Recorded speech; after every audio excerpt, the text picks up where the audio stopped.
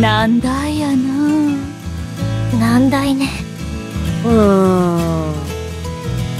つうか実際よ。どうでもよくね。こいつの呼び方なんて。いやいやいやいや。その扱いはひどくねえかリシャス。相性ってのは仲間同士の信頼の証みたいなとこあるじゃねえか。俺も仲間に入れてくれよ。でも全然思いつかないんだよね。うん心の底から興味がないことって思いつかないものなんだね。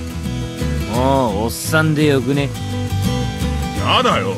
それ別所じゃねえか。じゃあ飲んだくれ。やだ。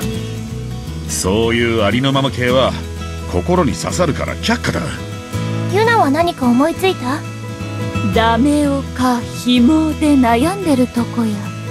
意味はわからねえけど両方却下だ。うんもっとあるじゃんよ敬意を込めたやつとかちょっと可愛いやつとか。ヒゲパンチとかでよくね。見た目と戦い方を雑に組み合わせただけじゃねえか。雑パンチは？ミゼラちゃん？どうして雑を取り入れちゃったの？ああ無理。おっさん以外ねえよ。おっさんでいいじゃんよ。嫌だ。おっさんは嫌だ。よくいそうだし。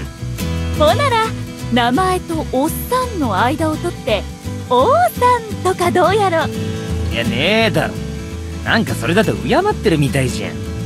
ほなオーポンは？いいんじゃねちょっとバカにしてる感じが出てんじゃねえか。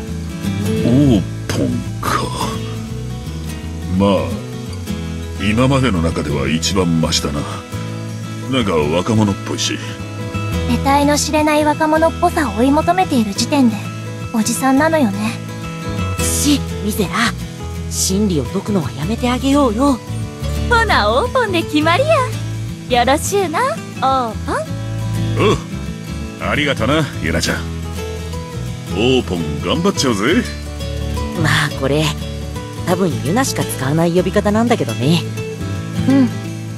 私は一生使わないと思う